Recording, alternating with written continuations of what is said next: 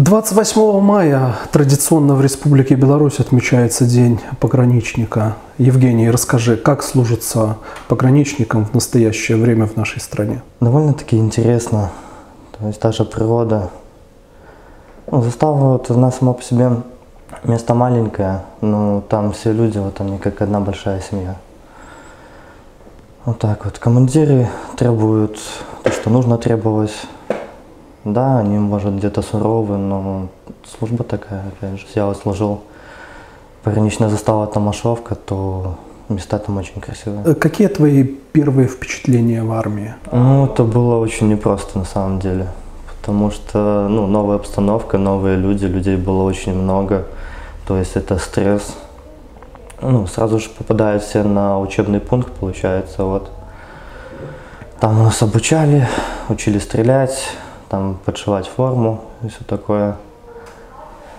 Было сложно. Со временем стало легче служить?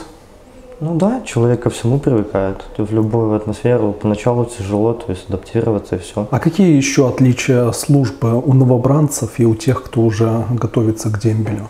Чем отличается эта служба? Новобранцы, они менее опытные. Они меньше знают местность, они меньше знают, там, как дел, ну, действовать в той или иной обстановке.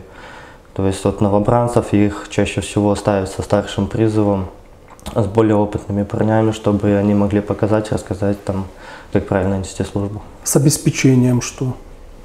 С обеспечением все в порядке. Можно где-то что-то свое прикупить. Например? Нам выдается там зимняя, зимняя тельняшка, там каль- кальсоны тоже зимние. Но если там уже вообще не можешь, то ну, с дома присылали, то есть термобелье ну, тоже одевали. Потому что вот эта вот зима, что была, она была очень суровая, то есть ну, давно таких зим не было. То было довольно-таки сложно. За время службы много ли было у тебя выходных? Выходной, то есть раз в неделю, это у нас считается воскресенье. Вот есть такая поговорка, что почему улыбаешься сегодня, ведь не воскресенье. А на заставе все зависит от того, сколько часов службы в неделю ты принес. Вот от этого отталкиваться. То есть если вот очень большая нагрузка, то тебе уже ну, очень много часов было, тебе уже ставят выходной. Часто ли тебя навещали друзья, родственники, близкие? Не часто, потому что ну, в стране был коронавирус. Болел ли ты коронавирусом за время службы? Насколько я знаю, нет. А Карантин у вас вводился какой-то? Вводился, да, были. Все протиралось там э, раствором. То есть там каждые полчаса, например, дверные ручки, полы мылись с хлоркой, вот это вот все. Каждые полчаса? Ну, полы мылись нет. Полы каждые три часа мылись. А вот ручки вот именно протирались каждые полчаса. За это там назначались ответственные люди. Если кто-то там болел, у кого-то там насморк, что-то появлялся, кашель, то и наш начальник, он смотрел. Э, У нас было специальное помещение, то есть давал им отоспаться, отлежаться, чтобы, ну, если все еще хуже становилось, то тогда уже отправляли его в больницу в отряд. Есть ли в погранотряде, в погранвойсках дедовщина на сегодняшний день? Ну, я сказал бы, что нет. То есть пограничники, это, ну, как я уже повторялся, это одна большая семья. Если ты там не будешь уверен в своем товарище, потому что вы несете службу вдвоем, вы уходите в лес, у вас в руках боевое оружие, то есть, ну, какая там дедовщина. Нужно доверять полностью.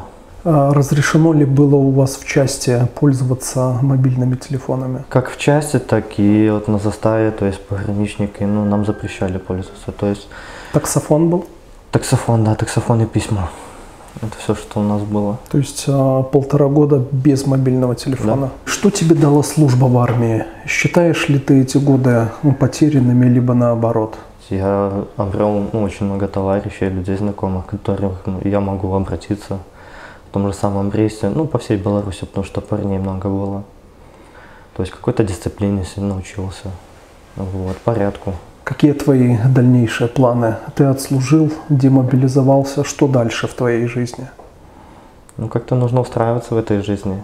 Долго не сидеть, не праздновать, потому что это очень может затянуться. Вот ошибка молодых парней, что вот я ушел на дембель, там все. То есть нужно гулять там по полугода. Ну, нет, это слишком.